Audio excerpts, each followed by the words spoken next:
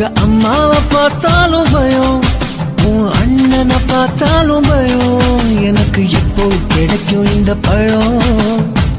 திரு தெருவால இரண்டு